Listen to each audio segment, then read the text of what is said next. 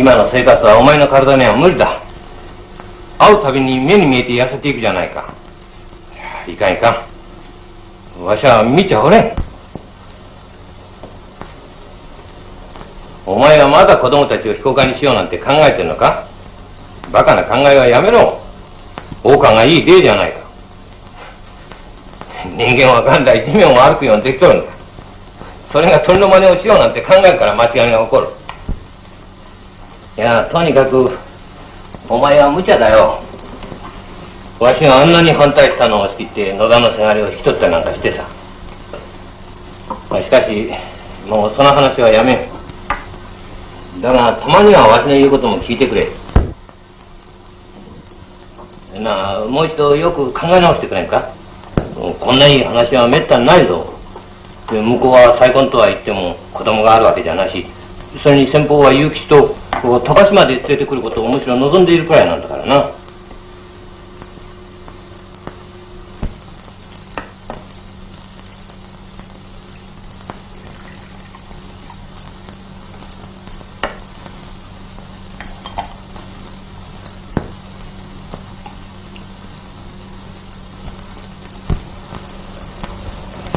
どうだ信子。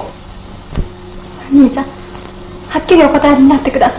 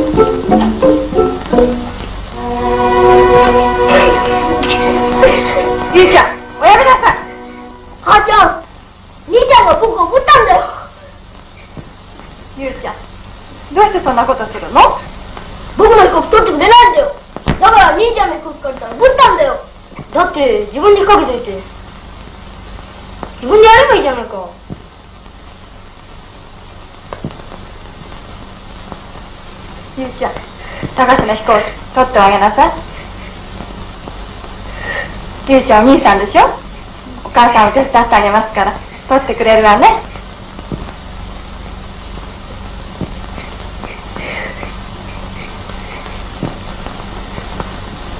分かって？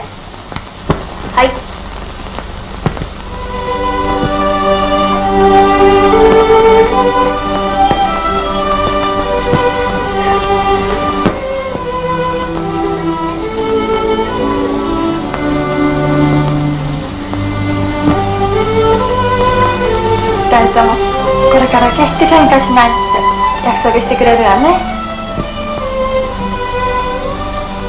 そうはあよかった。約束してくれなかったらお母さんはどっか遠いところ行ってしまうかと思ったのよ。どこにも行っちゃ嫌だよ母ちゃん。じゃあ本当に約束してくれるわね。ええ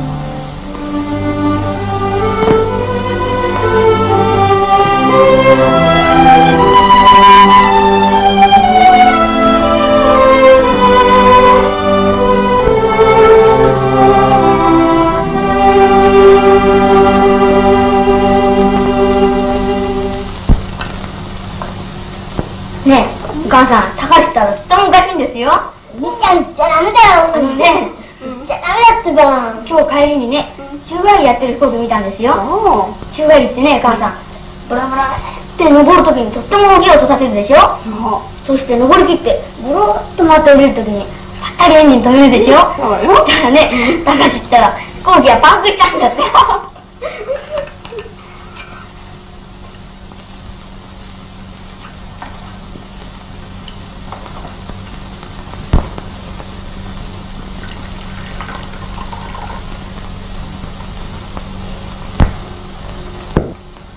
もうご飯おしまい？ええ。どうして？だって、今朝も一年だったじゃないの？お母ちゃん、お医者さん呼んでこうか。お母さんどこも悪くないのよ？お昼にはたっぷりいただいたんだもの。本当？お母さん。本当ですとも。なんだ、病気かと思って、僕、心配しちゃった。そう。みんなのね大好きなカレーライスをたくさん作ったのよ。だけどお母さん一人できれいに食べちゃった。それじゃあ母ちゃん、僕も食べたかったな。そう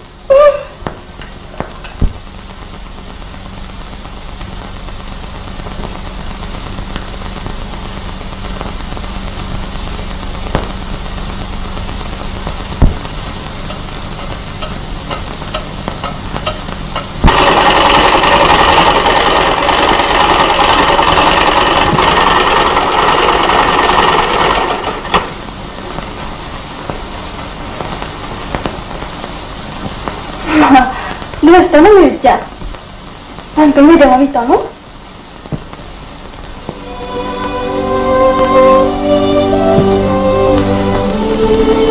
バカねゆうちゃんは母さんは大丈夫よ。心配することはないのよ。お母さんはねこの仕事が終われば当分ゆっくりできるのよ。そうね。今度の日曜にみんなでお弁当持ってどっか遊びに行きましょう。ね？そして飛行機を飛ばして遊ぶのよ。お母さんはそれを草の上に寝て見ているの。おお母さん。まあゆうちゃん寝たりしてお母さんはね男の子が泣くの一番嫌いなのよ。あご心配しないでおやすみなさい。ね。お母さんもうすぐ寝ますから。ね。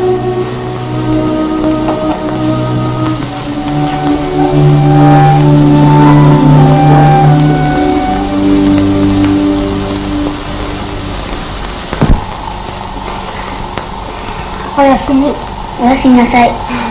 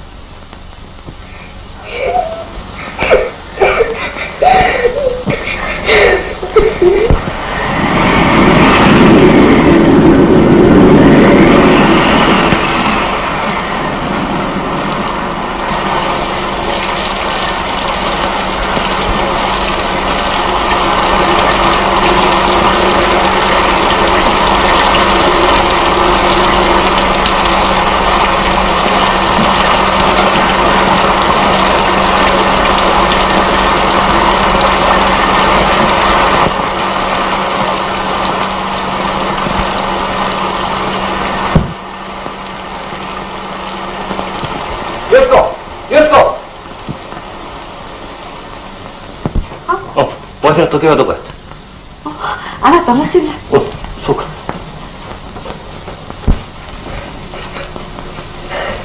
あねえ子供たちしばらくここに置いといた方がよかないかなそうですね。いえ、帰ります、おじさん。兄ちゃん、僕も。いや、高橋はここに置いて。あ高橋はいい子だから嫌だよ、僕。高橋。高橋さん、いい子だからここで待ちましょうね。高橋。兄さんの飛行機お前にやるよ。あの、一番大きいね。は あいいな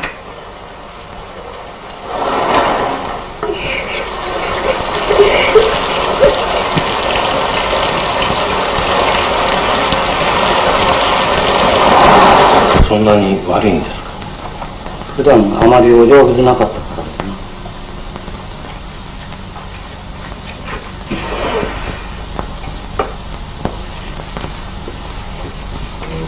これですか？お母さん。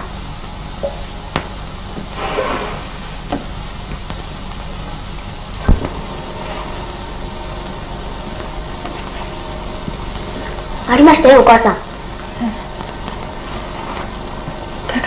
ころ読んでごらんなさい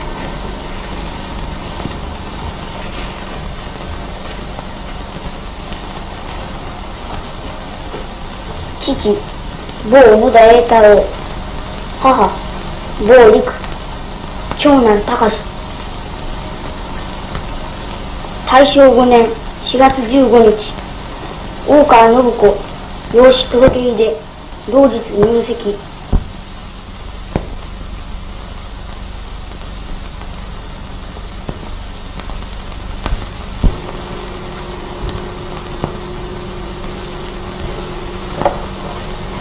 ゃんどうぞ。じゃあまたお祈りしましょう。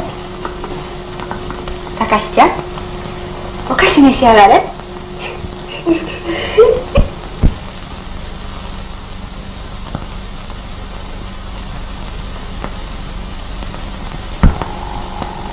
高ちゃんにはもうお父様もお母様もいないのよ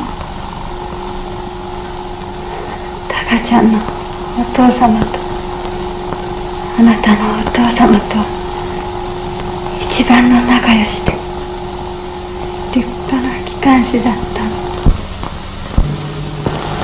あなたの4つの鍵なきりの海岸であなたのお父様とご一緒に亡くなられたのよ。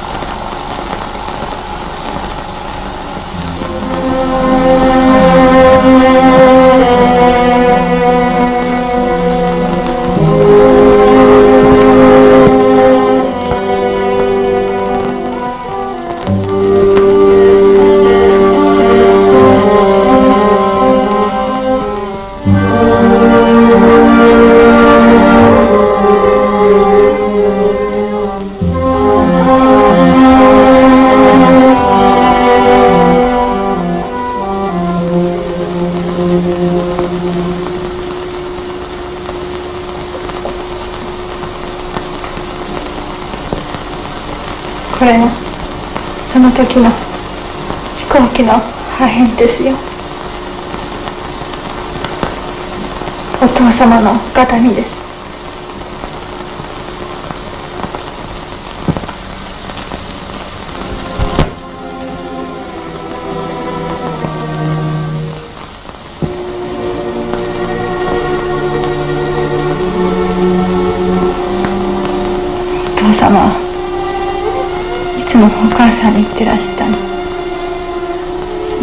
自分の子で高志が他人の子供だなんて決して思ってはいけない。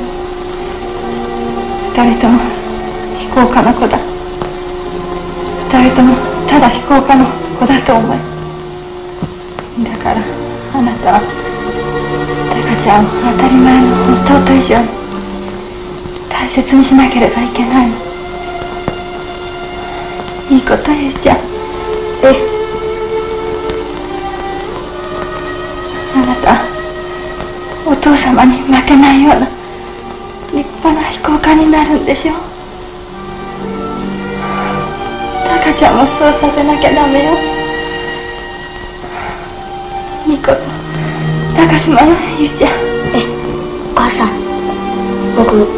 うんと勉強して、少年航空員になります。高島。高志は航空機乗員養成所に入れます。あそこならお金はいらないんですよ。洋服もご本も鉛筆もそれにお小遣いも毎月少しずついただけるんですよ。信子しっかりしてくれ。わしはこれまでお前のすることにいちいち反対してきた今の今までお前のその尊い気持ちをただ世間に対する意地だとばかり思って。兄さん。私は勇吉と高志本当の兄弟として育てることだけでいっぱいでした。お母さん。お母さんがいなくなってもいます。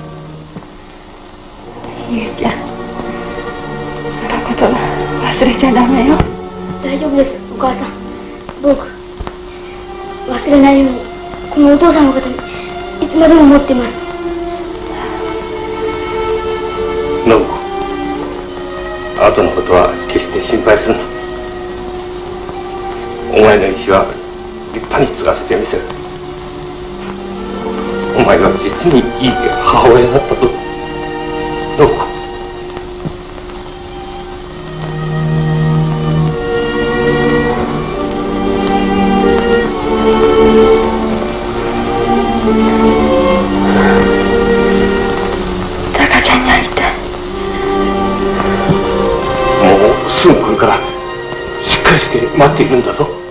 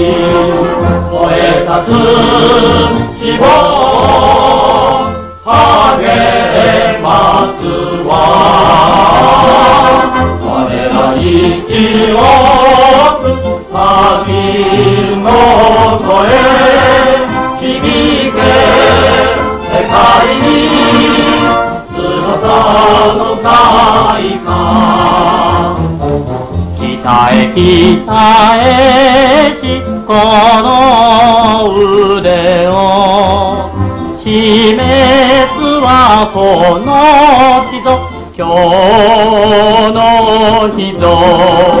輝き渡れる心こそ。晴れて一点曇りなし。雨よ久し翼の太 Oh.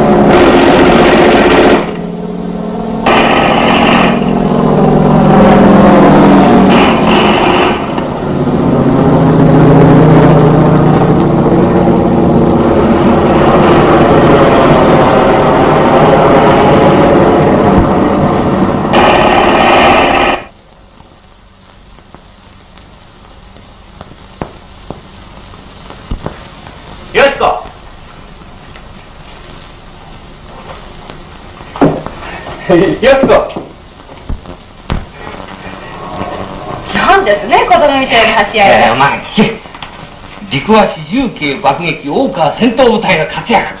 本当？ああ敵機二十数機と大空中戦そのうち砲火ハリケーン11機撃墜。我が方全機無事。おい結城は大変な手柄を立ったの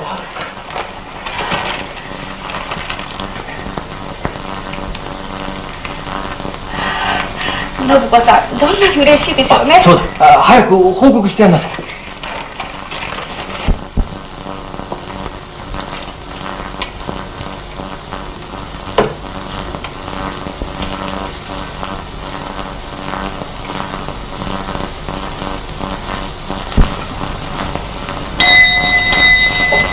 そうだ。これは高須にも知らせてやらない。ダメよお父さん。なぜ？なぜって高橋さんは今頃高度3000ぐらいよ。え？鳥の気持ちになってるわ。それもずいぶん乱暴な鳥なのよ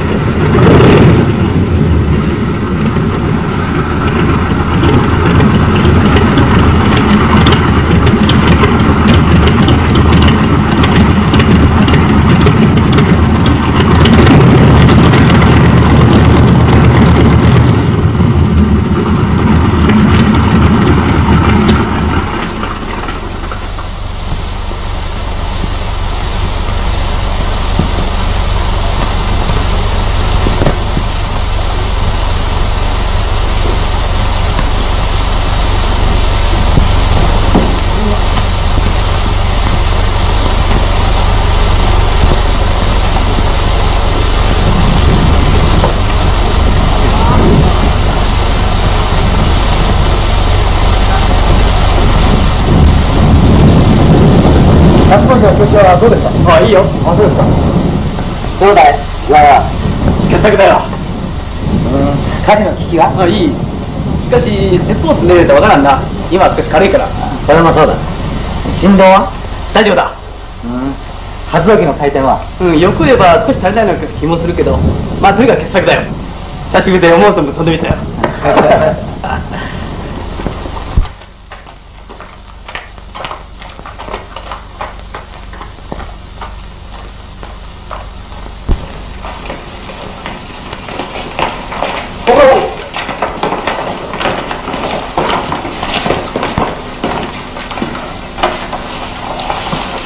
ご苦労さんいましたかあんたは兄さんのことは出てますよおおすごいですなまた11機撃墜ですよ。おお。兄貴やったね。なんですってね。大川大尉はあなたの本当の兄さんじゃないんですってね。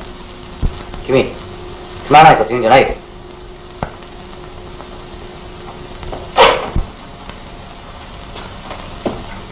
よし言いたいやつに言わしとくさ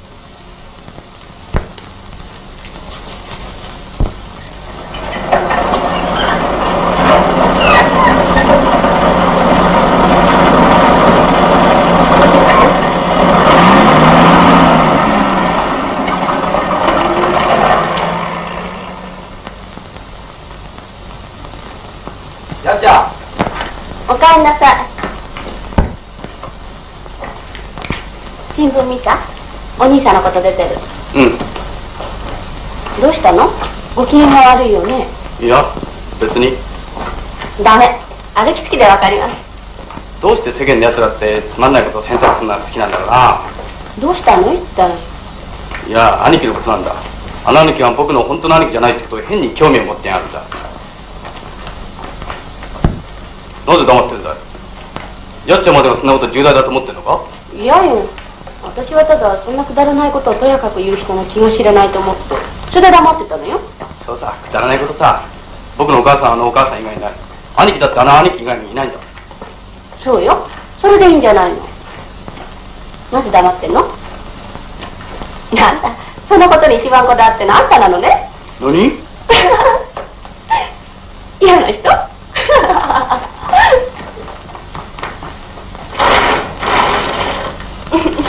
母さんお母さん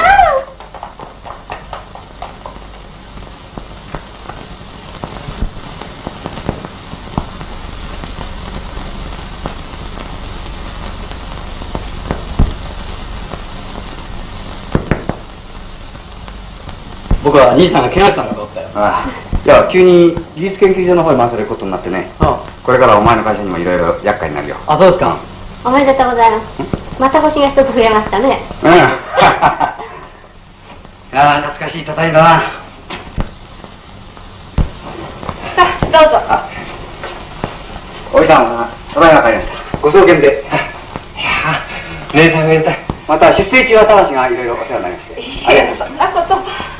おかえりなさいああ、やっちゃんも大きくなりましたね。嫌だわいつまでも子供じゃありませんわ えー、ゆきあえー、わしたちにはもうそれでいいからさあ早くお母さんへ報告しなあ、じゃあ、高橋。はい。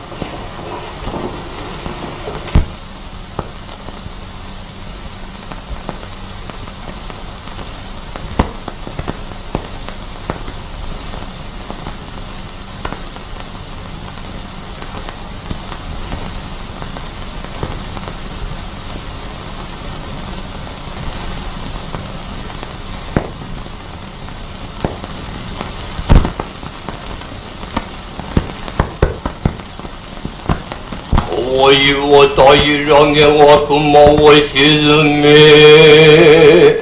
天は太平の中心たりしも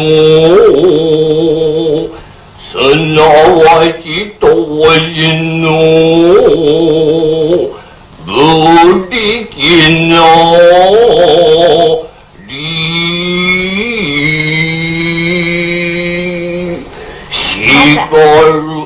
おやしになりませんかゆきさんご迷惑ですよ いやああとにかくめでたいめでたいさあ一杯行こ僕は平気です。年がら年中、発動機のうなるのを気ぃつけてますからな。いやこりゃあ辛辣だな。そういや、おじさんの髪も、だいぶ白くなりましたな。あ、やっちゃんごちそうだね。そりゃ腕によりをかけたんですもの。はい。はい。ね兄さん。今度は僕が受け持ってる単座戦闘機は素敵ですよ。うん。ハエテみたいなやつですよ。そいつに乗ってると、まるで夢の中で飛んでるような気がするんですよ。なんて言うんだろうな。ちょうど、酔っ払ったようにさせてくれるんですね。高橋、え試験飛行士が酔っ払っちゃ困るな。お前はスリルに疲れてるんだ。気をつけなくちゃいかんな。飛行機は機械。人間はあくまでそれの主人公だっていうことを忘れちゃいかんな。高橋さん一歩参ったわね。こら、いい加減にしとけ。三好の方は兄さんで喋るぞ。なんだよ、三好って。あのね、高橋さん？うん今度の戦闘機の主任設計者ですね。うんそれが、そのやっちゃんの。さん。おこさんおいよ。ゆ きさん、たくさん召し上がってください。しかし不思議な縁ですなこの戦闘機はあなた方兄弟の手中にかかっているのは全くそれに、この飛行機の主任設計者の入手は、僕の一言演談が進行中なんですよ。おおそれはますます危険ですないっそ発動機の模様を作っても衛星関係を結んではどうですそうすればこの戦闘機は完全に航海一家の産物ってことになりますからないやそういうわけにはいかん僕には女房がありますから よし、ちょっと。兄貴だ。三好君です。いや、今度大川泰殿は豊富な実戦の経験をこの戦闘機に生かすために特に現地からお借りになられたんだあお父さんからはよく伺っておりました。どうぞよろしくお聞き回しください。あこちらこそどうぞ。うん。なかなかいい格好ですな。えー、翼面荷重はいかがですかな。85です。うん。上半角は？えー、5度です。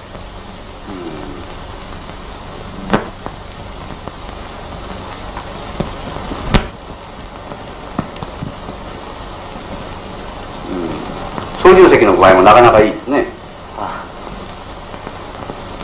高橋から聞いたんですが、旋回も申し分ないということですね。ああ、しかし、無装備のままの試験飛行の結果ですから。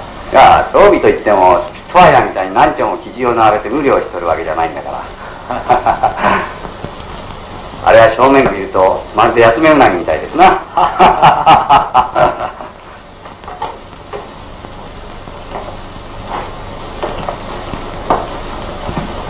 あれじゃ重の重量だけでも分回されて、旋回半径はぐんと大きくなるはずだ。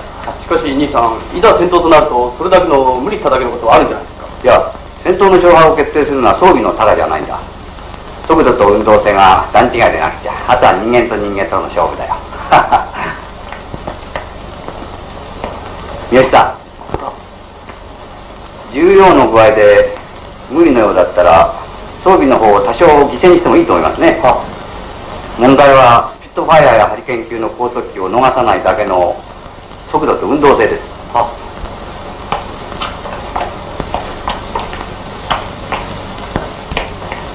それから、これは私事に当たりますが、あなた今晩お暇ですか？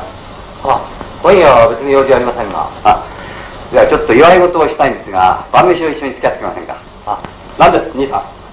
お前の誕生日じゃないか。え？僕の？ああ、そうか。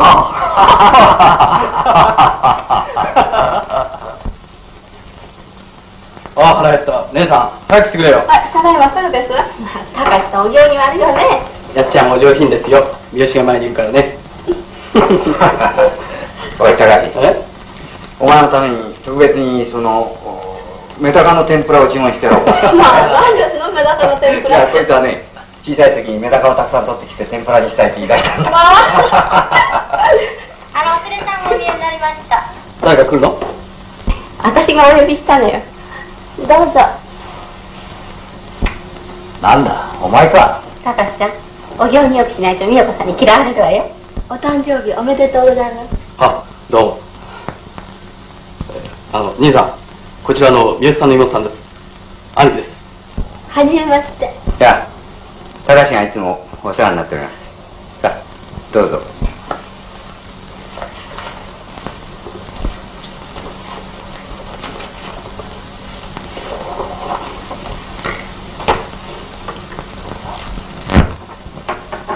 あの茶葉月をね、はい。もう一つくれないか。持ってまいりました。いやその他にもう一つ欲しいんだ。はい。おいしさお杯も一つお願いしますはい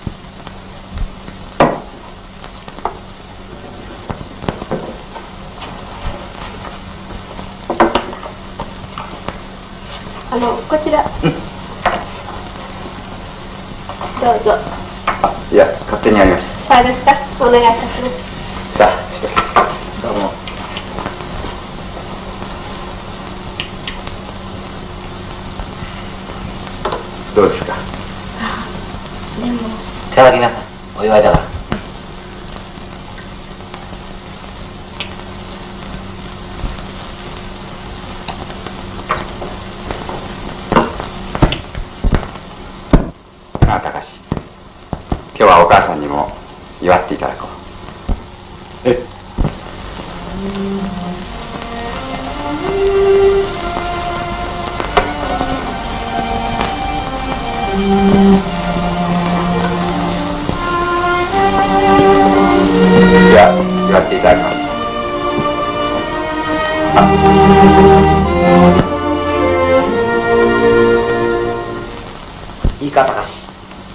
思考に移る前に水平思考を十分にやってみること。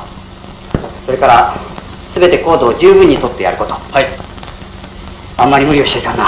心配しないでも大丈夫ですよ。高橋俺は今お前の兄貴としてではなく軍の責任者として言ってるんだ。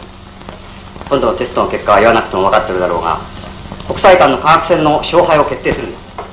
だからテストの結果をはっきり掴んで帰ってくること。それだけはお前の任務。だそれ以外のことを考えちゃいか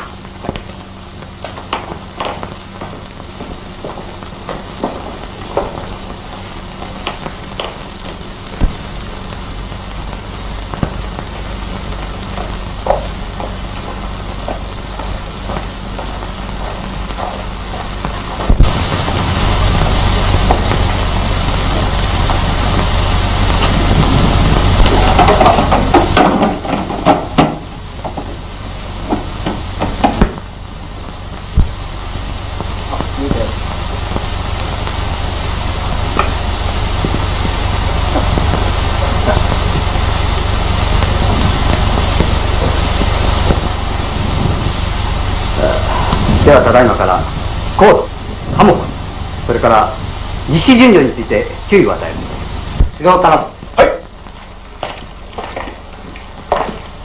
どうかね。非常にいいです。あ。高度3000メートル注意事項急降下4000メートル2000メートルの間はいよし。発動機の調子は申し分ありません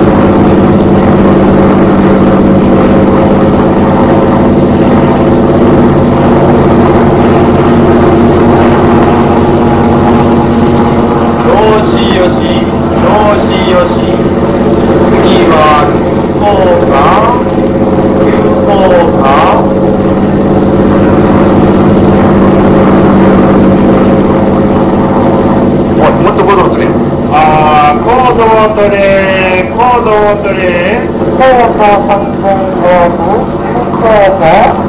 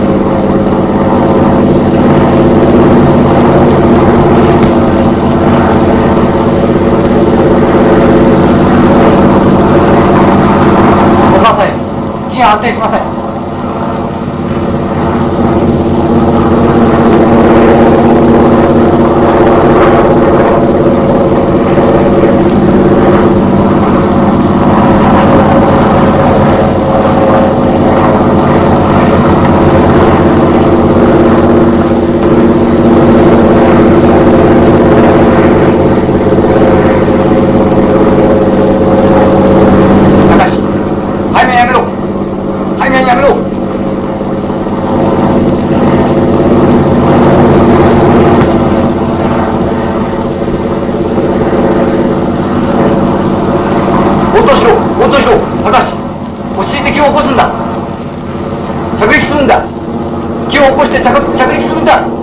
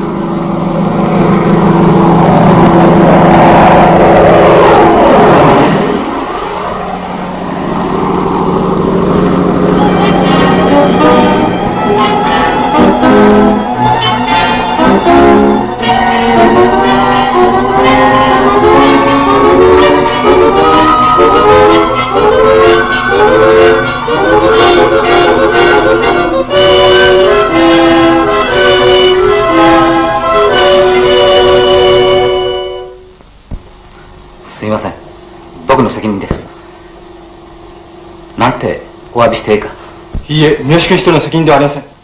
僕が悪かったのかもしれないんです。最後に聞いた発動機の音は確かに少し変でした。そんなことはない。よ発動機の故障ぐらいなら素人にだってわかる。僕の責任だ。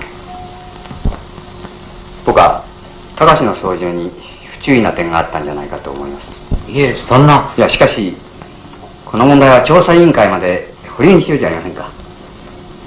あなた方のご誠意には高橋に代わってお礼を申します私からも皆さんにお礼を申します。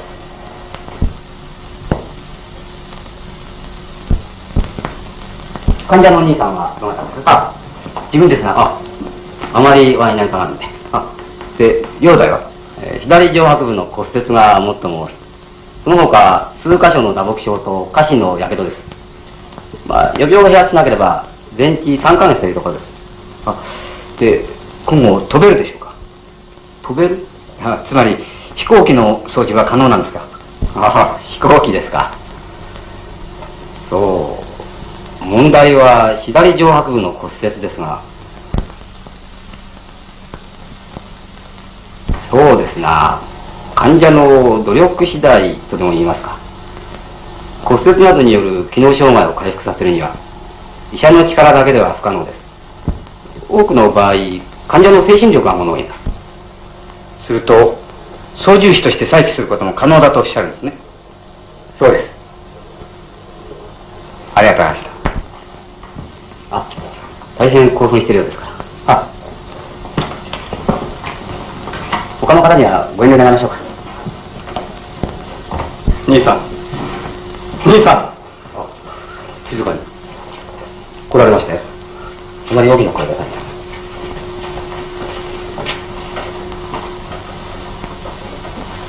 機体はすっか？り燃えてしまったんですかうんすっかり。そうですか。兄さん、はっきり言ってください。僕の取った処置は間違ってたんでしょうか？静かにしろいや、兄さん、僕の兄さんとしてでなく、軍の人間としてはっきり宣告してください。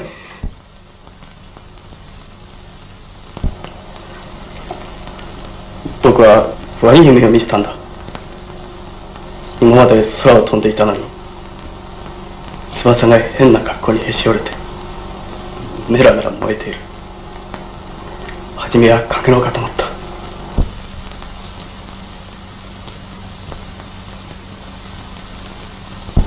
僕は十分下ろす自信があったお母さんにしがみついてるつもりでしっかりハンドル握って全力を尽くしたでもダメだった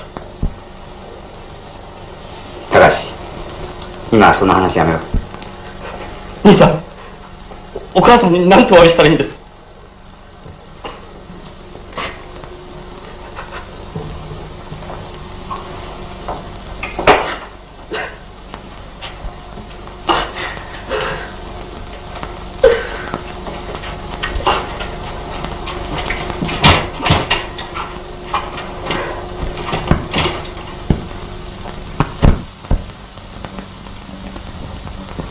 作業というやつは、この縦の数百の修正部品と、この横の数千の勝負部品ね。6桁の金具のようですな。ええ。材料が特殊鋼と来てるもんで、作業も困難は困難なんですが。そうすると、第一試作機の時もこいつで引っかかったわけですね。いえ、そんなことはありません。大体作り直しというやつは、とかく行員の意気込みや違せか、いろいろ渋滞しがちなもんです。常識的に考えると、第2号試作機の工程速度は、第1号機のそれを当然凌駕すべきはずなんですが、実際には逆の場合が多いんです。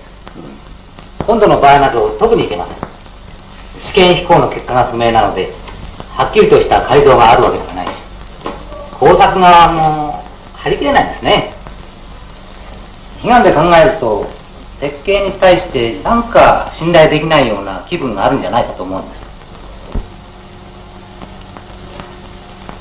いや、これはもちろん私の責任ですが、全く困った問題です。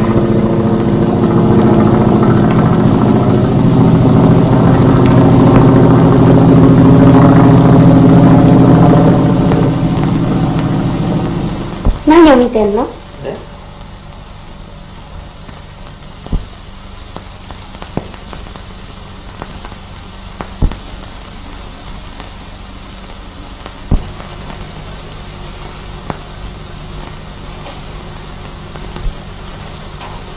やっちゃん何？僕また飛べるようになるかしら。当たり前よ。どうしてそんなこと言うの？みんな僕に隠してるんじゃないのかい？バカね。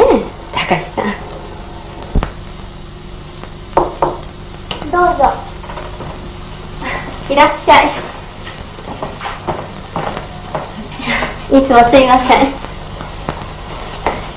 いかが？ええどうもなんかこのギブスの下に虫が56匹いるらしいんですよ。そいつがムズムズ這い回るんです。ダメよイライラしちゃそれは何にかけてんのよ。あそれにね高橋さん。兄さんの入試作機がいよいよ骨にかかったんですって。え本当ですか？高橋さんの腕の骨と競争なの。早く治って飛んでいただかなくちゃ。ええ僕も飛びたいんです。しかし。高橋さんとはダメなのよ。もう飛べないんじゃないかって一人で気を病んでんのよ。まあそんなことお医者様もちゃんと受かってらっしゃるんだもの。ええ。しかし調査委員会のこともありますしね。何を言ってるのよ。高橋さんの何のうちでもないんじゃないの？もちろん僕は機体を無事に下ろすことに自信があった処置が悪かったとは思えない。そうよ。大丈夫よ。第一あなたには。あんなお優しいお兄様がついているんですもの。調査委員会は来月早々ですって。だから早く良くなってちょうだい。ええ。きっと良くなってみせます兄貴毎日のように花持ってきてくれるんですよ。そうなのよ。まるで恋人に会いに来るような具合なの。ねいい？花はこういうふうに持ってね。いやー百花繚乱ですな。先生今月中に歩けるようにしてください。おお大変な勢いですな。いやキリストさんはうまいことをおっしゃった。求めよさらば与えられ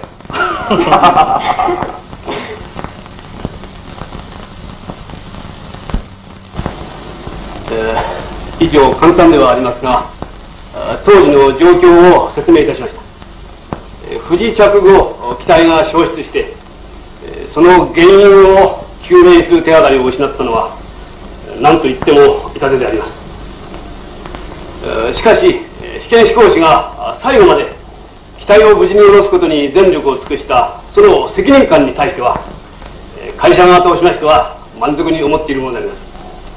え不時着直前まで発動機の状態には異常を認められなかったという試験飛行士の言明及び、えー、無装備のままで行った試験飛行の成績が、えー、申し分なかった点から見まして装備重量に無理があったのではないかと考えましたので、えー、その点計算を改めてやり直させてみたのですが数字的には別に誤謬は認められませんでした。すると何ですな？原因は発動機でもない設計でもないすると。他に考える原因としては工作上の誤差か操縦士の過失ということになるが。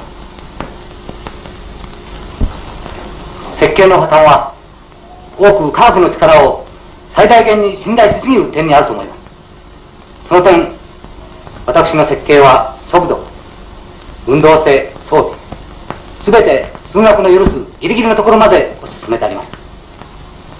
その結果設計者はそれでよろしい。それがあなたの任務です。我々は今そのギリギリの数学の実用化のために冷静に問題を検討しているんです。感情を交えて人をかばう態度は取りません。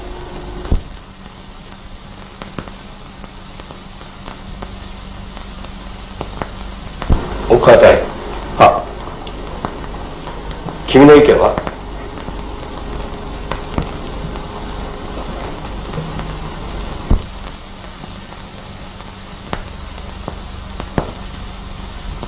自分は試験飛行士の過失と認めます。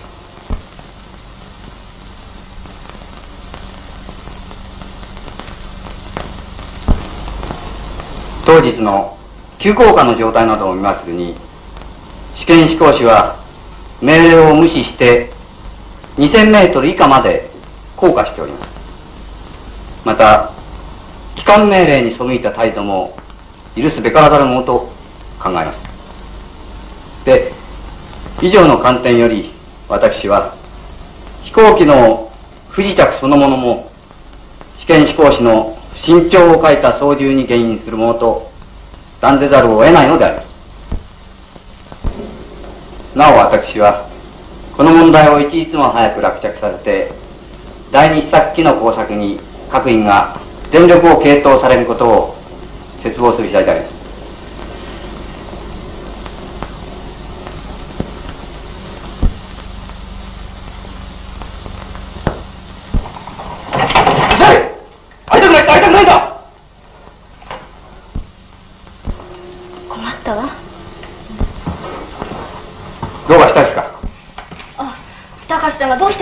しても私たちお部屋入れないんですそんなバカなとても興奮してるようです今日の調査委員会のことで怒ってるんでしょでもいや話せばわかります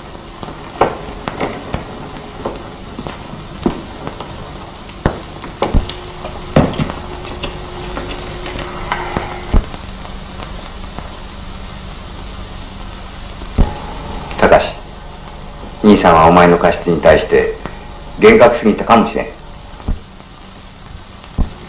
しかし兄さんが一番心配したのは第二試作機に対する工作者側の熱意なんだ。設計に対する絶対の信頼がなくては工作者は全根を傾けうるもんじゃない。いいか？何か原因の不明瞭な欠陥を持った不吉な飛行機。それを再び作らせられそんな考えを工作者側に持たせたらそれまでなんだ。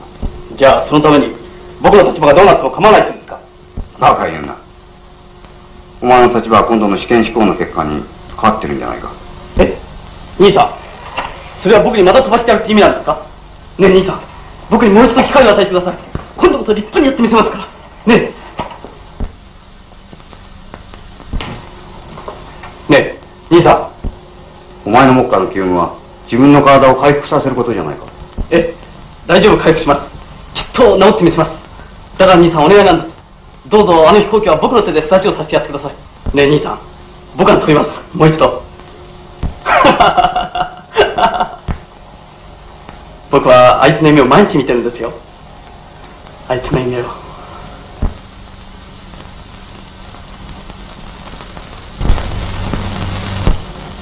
近頃は全く名調子ですよ。1号スタッフ機の工程速度をはるかに抜いています。はは三好君も一時はだいぶ投げ事を習うとったわな。最初のうちはどうなることかと思ってました。この分だと無装備の試験飛行はいつ頃行える予定です？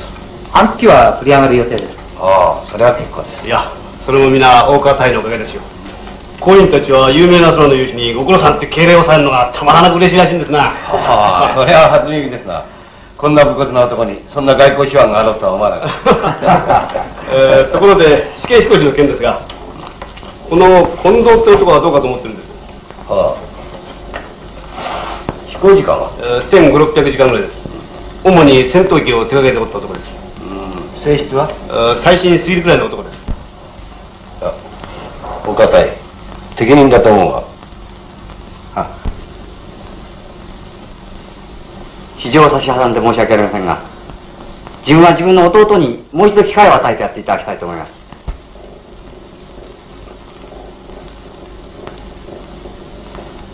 お堅いいやわしは君が第二試作機の工作の陣長を期するために自分の弟を犠牲にした口はわからんわけではない。がしかし君が泣いて馬食を切ったその信念にわしはもう一度期待する。軍はこの新鋭機にかけてる期待は大きいの。だ試験飛行はあくまでも慎重を期してもらわねばならん。お堅い。あじゃあ改めて聞くが今度の試験飛行士選考に関して君の意見は？あ自分は直接自分で試験試行を行いたいと思っております。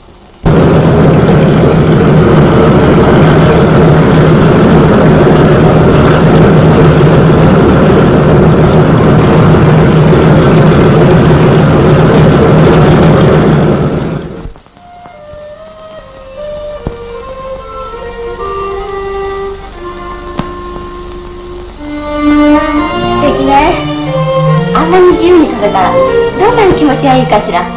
いやあなたの兄さんの飛行機の方がもっと素敵ですよ。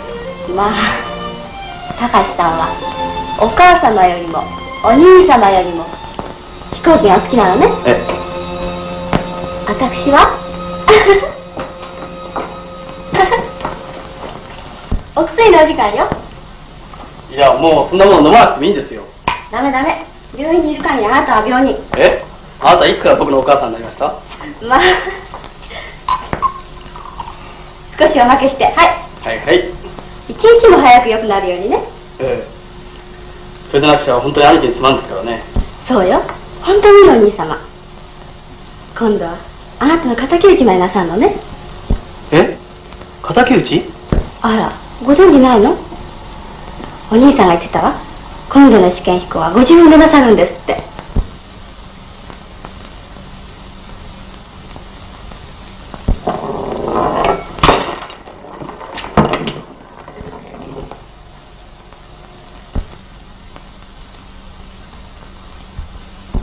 高橋さん高橋さ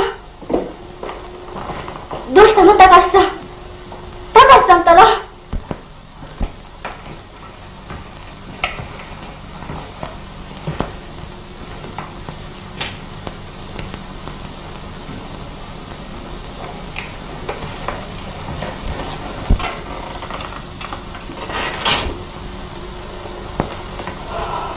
あ毎日すみませんね高橋さんが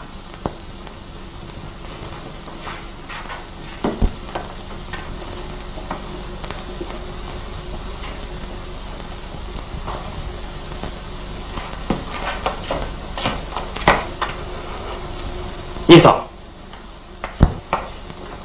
兄さんはなぜ僕に嘘をついたんです？嘘？そうです。今度の試験飛行を僕にやらせると言ってきながら自分でやるんですってね。僕のこの腕の傷は操縦士として致命傷なんですか？そんなことはない。じゃあ僕の腕が信用できないって言うんですか？バカを言え。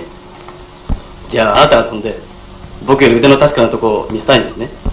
まあ待て。ただし静かに話そうじゃないかいや話さなくたって分かってますよ。ただしお前のそのすぐ前後を暴虐して取り乱しやすい精神がいかんとは気がつかんのかね。また終始のこみですか。ただしそういう感情的な無意味な反駁はやめろ。冷静によく考えてみるんだ。すいません。私が悪いんです。余計なおしゃべりをしてしまって。いえあなたのせいじゃありませんよ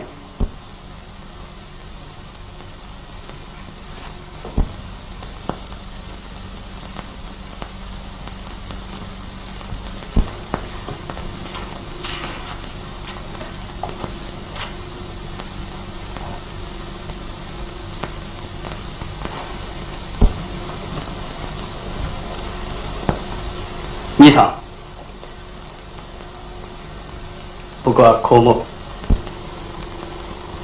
結局兄さんと僕とは体を流れてる血が全然違うんだ。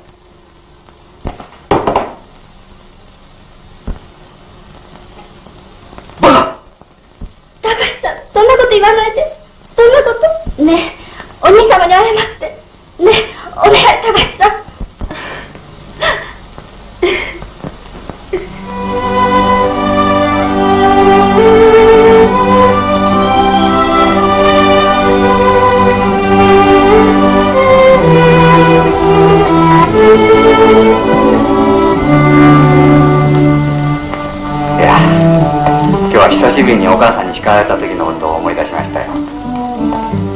自分の母をこんな風に言っちゃおかしいがとても綺麗な人でしてね。叱る時にはその綺麗な顔が心持ち青ざめるんです。僕はその顔が一番怖かった。お気を寄せられる時よりも怖かったですよ。いや心配しなくていいです。僕はまたぜひあなたを母親に見せたかった。あなたを母親に見せたら母はきっとこう言ったと思うんです。ただしは幸せな子だ。これで私も安心ができるっていかにか流れるのは軍人には一番苦手だ。何？第二試作機ができれば何もかも解決がつく問題です。あと1ヶ月で無装備の試験飛行ができる。全装備の試験飛行がそれから半月と見てそうだ。もう少しだ。入道雲の上で何もかもきれいさっぱり。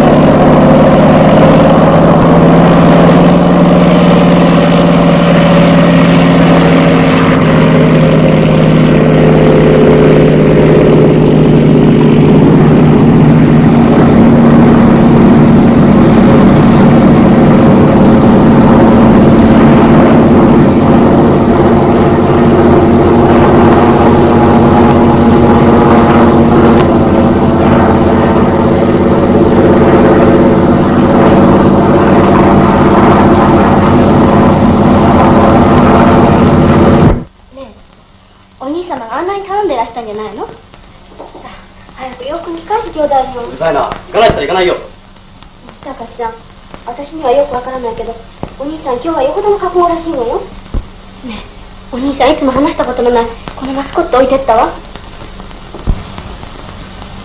私忘れたんだと思って後をかけたらこれはたかしにあるんだって笑って受け取らないの。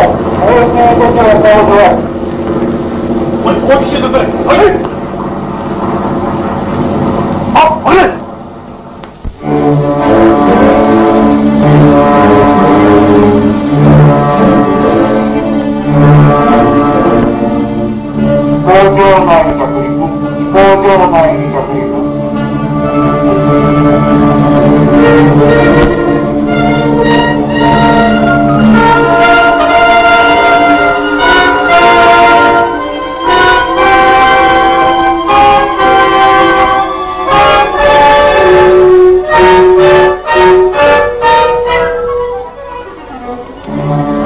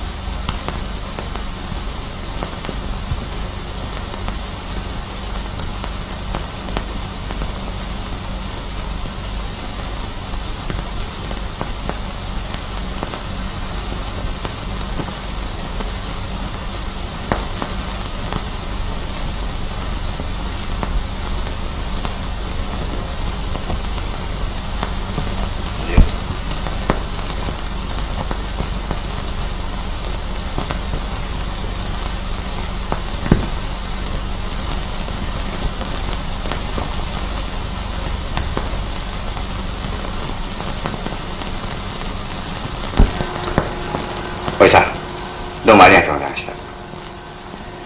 高橋いずれお前にも機会があるだろう。ええ。僕もお召しになってます。あの新駅で思い切り暴れてみたいんだ。三好さんご完成おめでとうございます。早くゆきさんの手柄話が聞きたいわね美代子さん。ええ。これもみんな諭吉さんのおかげです。そんなことはありませんよ。みんなの努力の結晶です。これで自分も安心して現地に帰れます。自分こそお礼を申しますいえそんなご縁来てご奮闘を祈ります。僕も後から切っていきますよ兄さん。うん。待ってるぞ「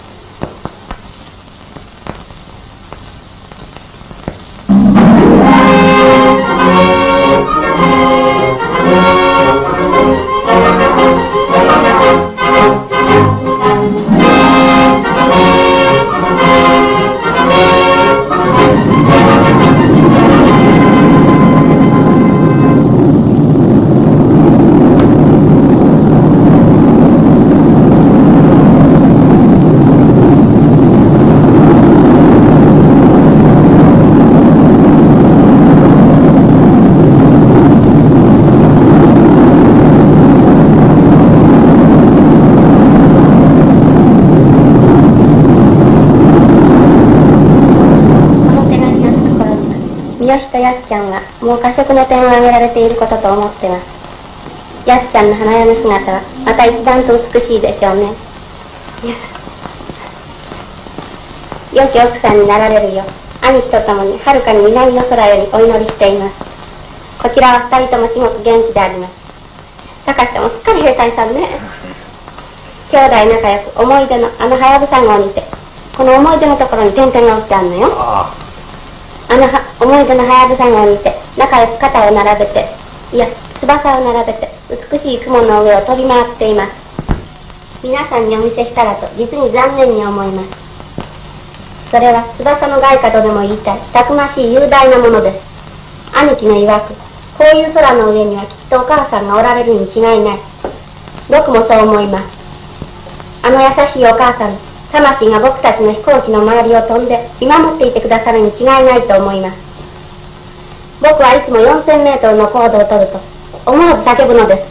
お母さんお母さん。